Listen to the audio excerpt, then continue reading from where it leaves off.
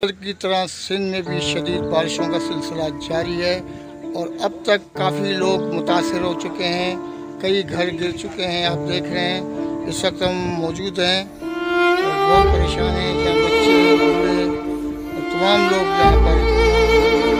कोई इमदाद ना मिलने की वजह से सख्त मायूस हैं, बस अपील कर रहे हैं और इनकी जितनी हो सके, उनके ये गवर्नमेंट का फ़र्ज़ है।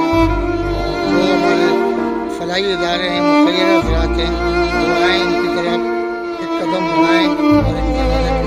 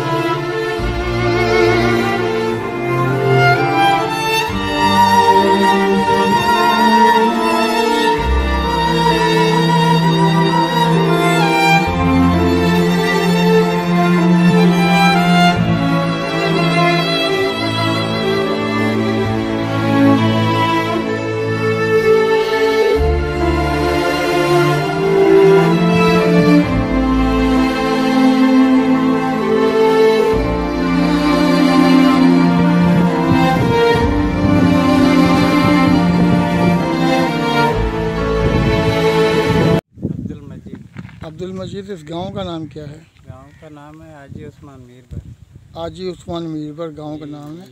और ज़िला ठट्टा? जिला ठट्टा यूसी छत्तरचंद दे चिलिया अच्छा। कितने घर आप लोगों के यहाँ पर तबाह हुए हैं? बारिश में? तीस पैंतीस घर है तीस तीस घर है। तीस घर है।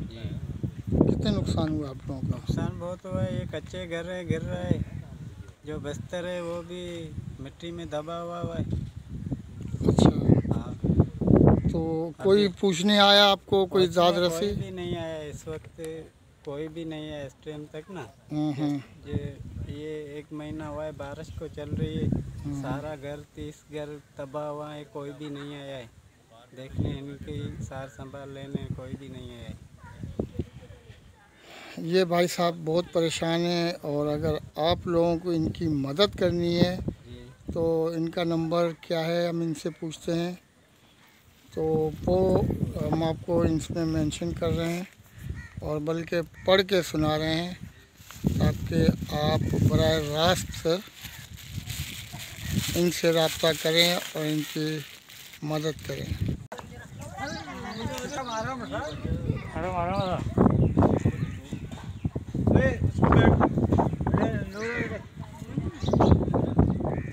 तुम इधर आके बैठ जाओ। बैठ जाओ। खेलो आप तीनों खेलो। बैग में से एक सेकंड दिखाना भी दो आप भी खेलो।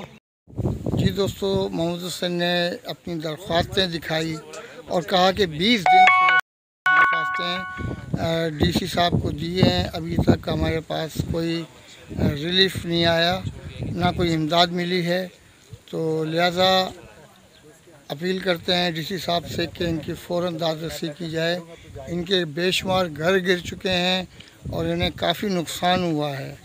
और इनके बच्चे जो हैं, बेचारे बीमार हो रहे हैं। खुदारा इनकी मदद करें, क्योंकि गरीब लोग हैं, ये मज़दूर पेशा लोग हैं और इनके पास कोई है नहीं। इनके टूटे फूटे झोपड़े देख कर अंदाज़ा लगा लें कि ये बहुत परेशान हैं।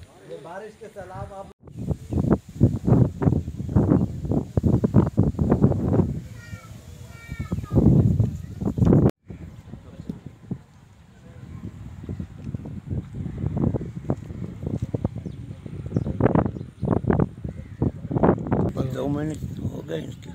अच्छा। हाँ।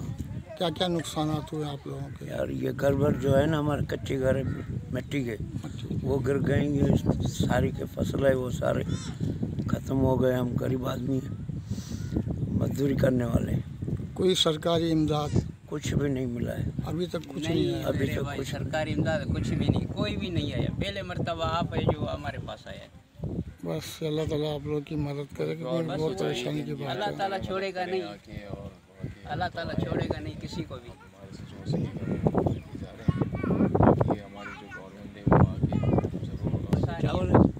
ये हमारा अपना नहीं है मजदूरी करते हैं खेती बाड़ी अच्छा अच्छा। ज़मीन आप लोग को ठीक है।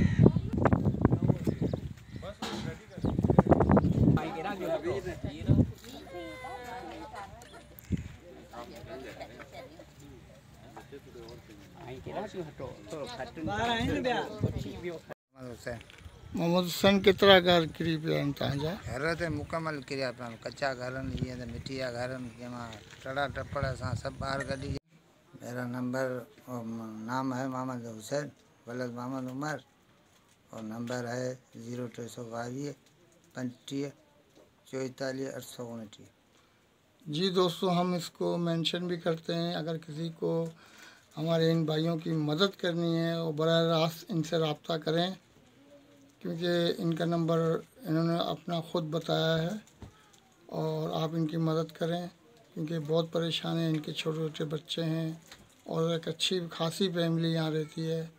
लिहाजा आप इनकी मदद ज़रूर करें, क्योंकि ये वक्त है गरीबों की मदद करना, क्योंकि सियासतदान और सरमादार तो इस तरफ़ रुख नहीं करते हैं। गरीब लोग मदद कर सकते हैं जिनके दिल में दर्द है और इन ज़रूर इनके जो ज़ख्म पे है मरम पोशी करेंगे।